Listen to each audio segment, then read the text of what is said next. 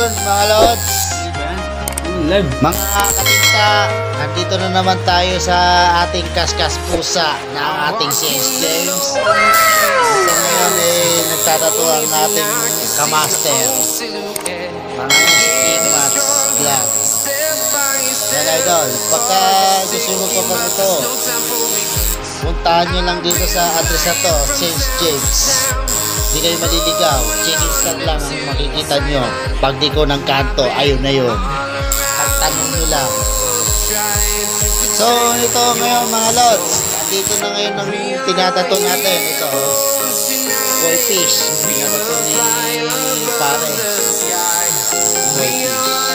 Yan. Pakita nga natin yung master yung logo ng tinatato natin. Kaya mga idol, oh.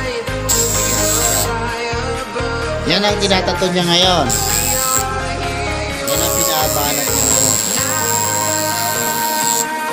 Kaya, seryoso, seryoso. Kaya kanina eh, nagko-contraction kami. Kaya pala pinilit na uuwi. Dahil nagtatato ng araw siya. Alam mo naman yung motor natin mga lods. 1,000cc. May hatid lang siya sa customer mo. Yan. Ito mga lods. 1,000 siya. Medyo blurred pa na siya mga, mga lods ha. Blurred pa. Di pa tapos siya. Maya maya lang. Tapos na yan. Ayan o. Oh. Kunting punas lang. Yan. Makikita mo yan. Di pa buo yan mga lods. Di pa buo. Yan. Huwag kayong may inip. Matatapos din yan. Yan. Tibay ng ating customer. Kahit makapti na ka pala. Basta, matapos lang ang tato. Yan. Yan. Yan. Yan o. Yan.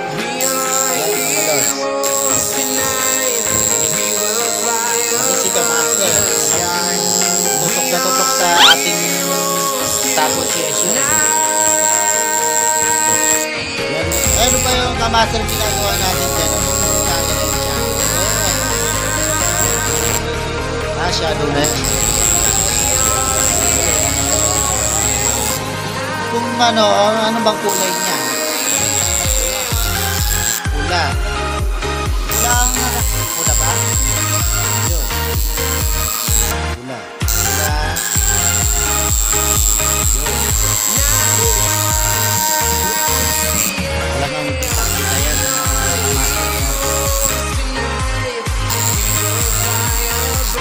Ilang inches ba yan, Kamanter? 16. Wow! Napakalaki. Nakakatinta. Napakalaki na pinatutuno ng ating customer. Ayan. Koi fish sa kanyang likod. Pakagaling. Yun, pasensya na kayo mga lord. Natapakan yung ano eh. Di pa yun tapos mga lods. Pag nakakita mo yan, see you soon. PM na lang mga lods sa mga gusto magpatato dyan. Ilalagay namin sa fake sa Facebook Facebook page ba? Facebook page. O tsaka sa YouTube channel na King Mas Vlog. Kung sino mag-PM ng papatato. Kung sino gusto magpa Halimbawa na magpaano, pupunta mo siya sa bahay nila. Service. Magpa-service. Yan. Ilalagay namin yung contact number dito para para mga willing-willing magpatato sa kanya. Yan mga lods oh. Yan titira niya oh.